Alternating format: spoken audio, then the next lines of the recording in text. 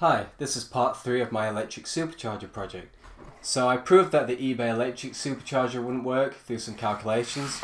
I then tried to improve on the design with this using two fan blades. That didn't work, that produced about half a psi. I used a single stage design which produced 3 psi.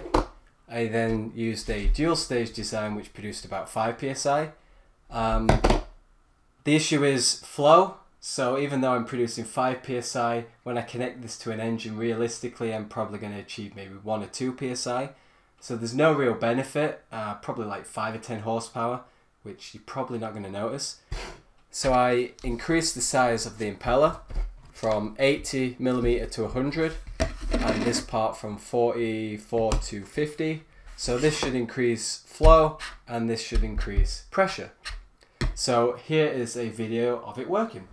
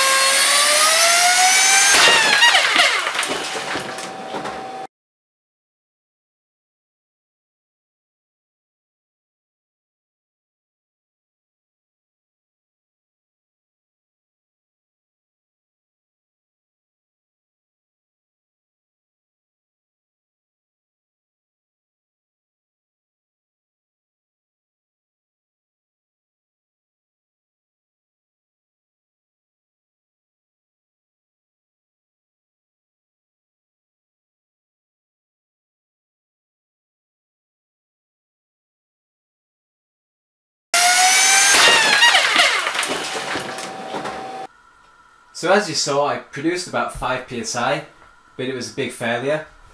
I printed the housing from the same material as the impellers, and instead of them wearing away, they melt together.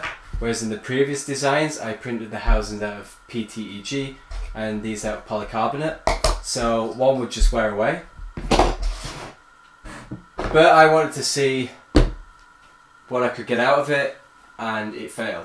I mean, spinning something like this at 60,000 RPM is kind of a bad idea anyway. Uh, I made sure I was out of the way, um, but it still made a nice mess of my table, and I spent like half an hour picking up the pieces.